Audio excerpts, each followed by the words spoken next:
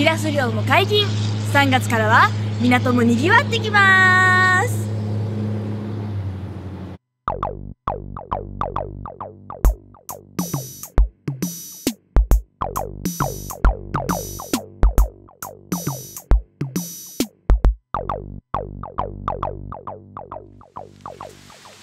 3月は野草が一斉に芽吹く季節。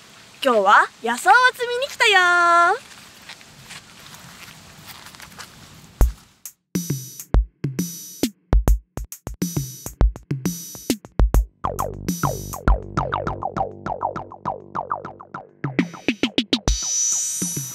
今日の夕飯は野草パスタにしようかな。あ野草チャーハンもいいな。あハールジオンだ。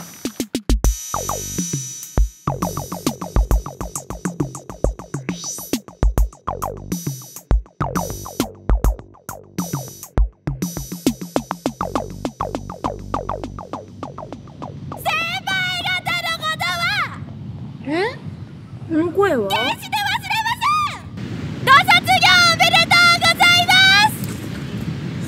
1776段木綿こんなところで何やってるの？あ千原ちゃん！卒業式の練習をやってたんだ。卒業式？もうすぐ富士山から卒業する妖怪がいるんだ。お彼岸前後のこの時期はあの世とこの世も行き来しやすいからね。卒業シーズンなんだ。そういえば3776単木綿も富士山の妖怪なんだよね。でも妖怪に卒業とかそんなのってあるの？まあそれは妖怪次第だよね。あれ？さっきからずっと音鳴ってない？あそこで泣いてるね。首切りギリスだね。キリギリス？まだ3月なのに？首切りギリスはバッタの仲間では珍しく成虫になって冬眠するんだ。だから暖かくなって冬眠から目覚めたら早速泣き始めるみたいだね。あれ？この声は？味噌サザイだね。どこにいるのかな？もしかしてあそこ？味噌サザイは鳥の王様とか呼ばれてるんだよね。なんでだろう？弱々しいけどちゃっかりしてる？とか思われてるみたいだね。確かに小さいのに大きな鳴き声だね。味噌サザイは早春からさえずりを始める習性があるんだ。もっと暖かくなると森の奥の方に戻っちゃうからこんな場所で声が聞けるのもこの季節ならではだね。そんな3月にぴったりの曲といえばもちろん歳時期に入ってる弥生三拍子とちゃんどうぞ。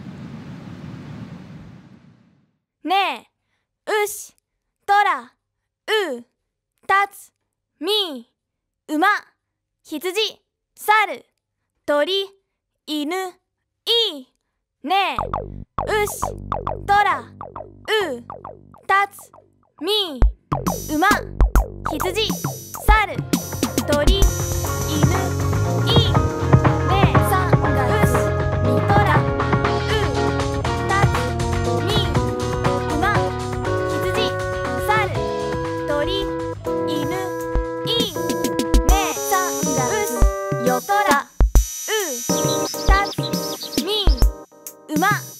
羊猿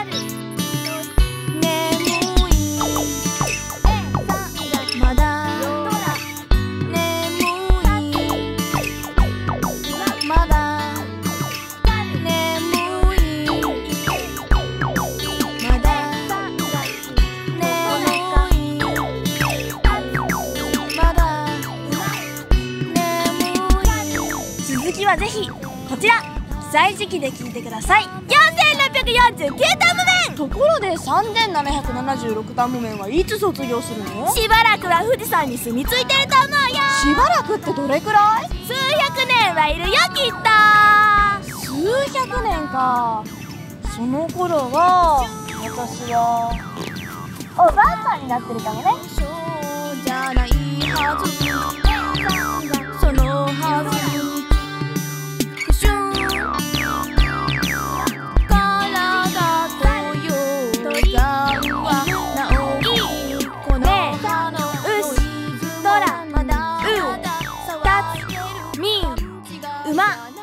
羊猿鳥犬い